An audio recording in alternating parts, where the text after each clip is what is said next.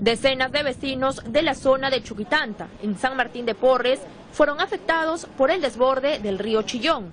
Hasta mi choza se ha llevado abajo, se ha desaparecido, no encuentro, no sé hasta dónde se ha llevado. La fuerza de las aguas destruyeron sus hogares y sus principales fuentes de trabajo. Más de 15.000 hectáreas de cultivo resultaron afectadas. Por el momento, las familias pasan las noches en dos campamentos que se han instalado a modo de refugio. Estábamos sin rumbo, sin nada, hasta 10 noches, 10 días, sin dormir.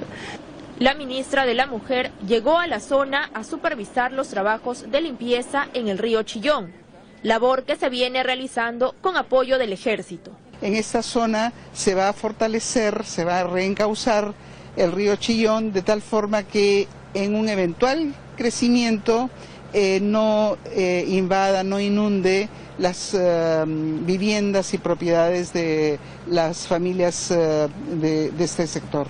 Durante su recorrido, la ministra conversó con los pobladores y les manifestó su total apoyo.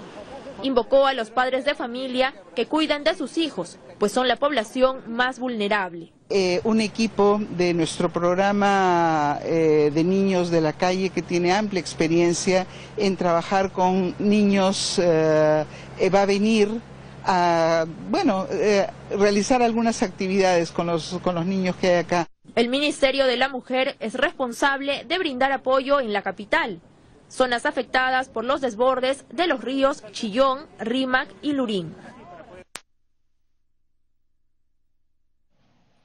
Bien, nos ha llegado un comunicado desde